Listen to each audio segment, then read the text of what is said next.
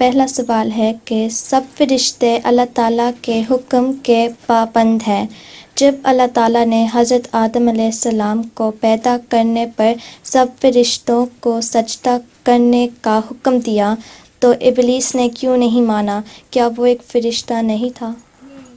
इबलीस फरिश्ता नहीं था, शैतान था।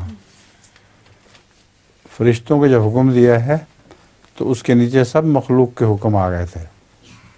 इसलिए ये ख्याल गलत है कि इबलीस भी फरिश्तों की वजह से उस हुक्म के ताबे था। फरिश्ते सारी कायनात पर हुक्मरान थे।